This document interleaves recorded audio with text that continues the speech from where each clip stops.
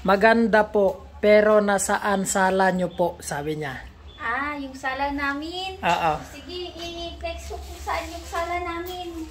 Kasi, ano guys, maliit lang yung sala namin. Mm-mm. Bali, ito yung sala namin. Ito. Kasi kakabsat, hindi namin na-prioritize yung luwang nung sala namin kasi hindi naman namin to sariling pinatayo. Uulitin po namin. Ah, bali, itong bahay na to kasi sinundan po namin yung mga pundasyon niya. Parang ganito po, ah, nandito po may pundasyon po kasi siya, tatlo yung pundasyon niya dyan. Then gusto kasi namin may kwarto.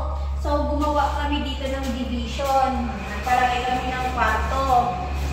Then, para sa amin kasi, masyadong maliit tong kwarto kumpara sa amin.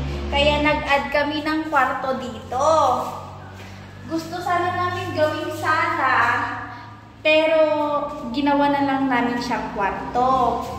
So, ang inisip namin, ah, ang i-priority na lang natin yung terrace. Kasi total, kung tambayan lang din naman ng mga bisita, ah doon na lang sa terrace. So, medyo maluwang-luwang siya. Yun po yun kakabsat.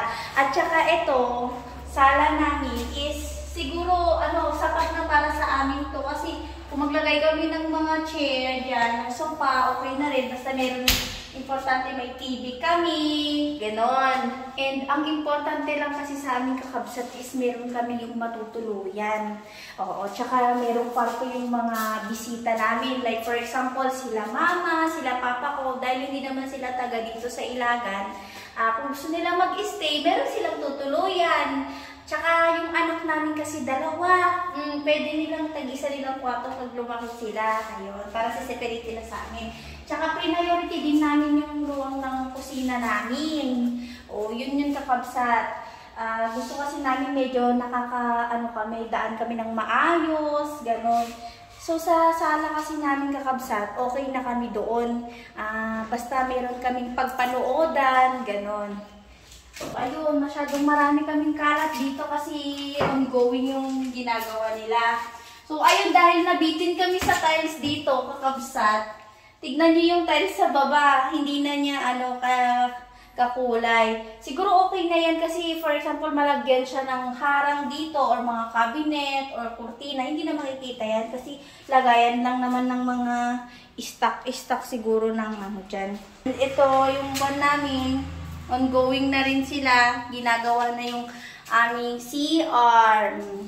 Hoping this week, eh, matapos na tong bahay namin. So, ayun na kakabsat. Ah, kung tiyatanong ninyo sa yung sala namin, ito. Ito yung sala namin. Ito na yun.